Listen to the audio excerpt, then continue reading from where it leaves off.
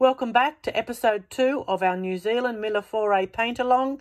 Which section are we going to paint first? So I remove the light box and remove the pattern. Looks like we're going to paint that top little circle with the sunset, or actually it's a sunrise, because New Zealand is the first place to have the sun come up in the morning. So on New Year's Day, they're the first country to have the new year and welcome it in. I've jumped right in with my emerald green and the small pointy brush, which uh, if you've bought the kit, that's the one I've supplied for you. I did try a different brush halfway through this process and decided that the detail in this design required the pointy brush only, hence that's what comes in the kit. Now I've dived into the emerald.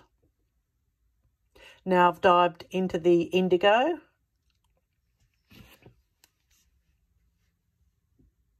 And just remember, all the painting that you're seeing is at double speed. So yes, I'm quick, but yeah, not that quick.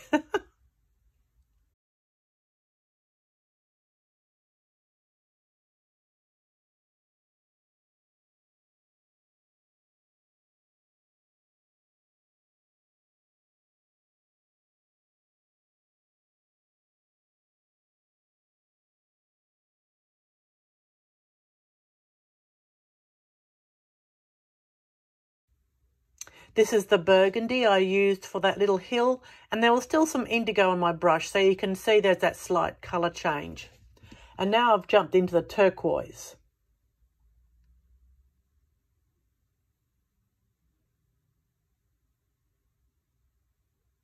So you could choose to paint along with me or even just watch this video and write on your pattern what colours I used where, ready for you to then go to your um, workstation and actually paint the different areas.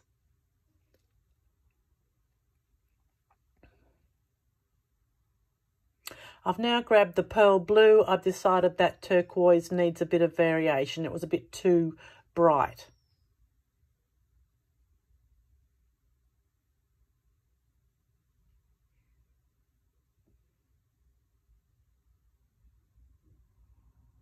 Cleaning that brush because now we're going to dive into some sunset gold for the little sun that's peeping up there. And every second ray of sunshine. Just work methodically so you don't make an oops with your alternation.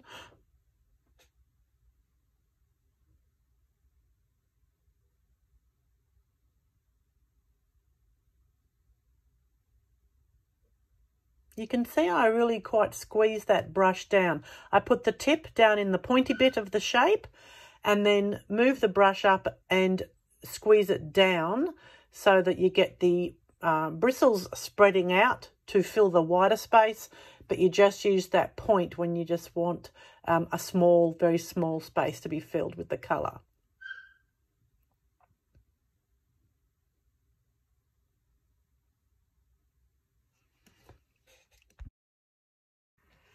These Lumiere paints are just so creamy and smooth and they cover so well. You can see here painting onto the black fabric, there's no need for two layers or anything like that. Uh, even white can paint on the black and be completely white.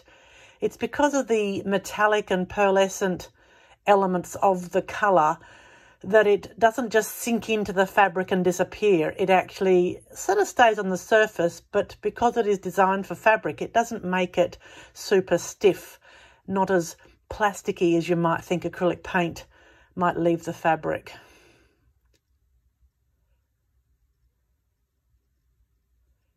You might also notice that I'm particularly leaving little black gaps. So rather than painting right up to, uh, you know, one shape next to the other, I'm trying to leave a very small black gap. So basically the width of the pencil, the Panda pencil, when I trace the design. And I'll explain what that does tomorrow. I think that's it for today. There you go. See you all tomorrow.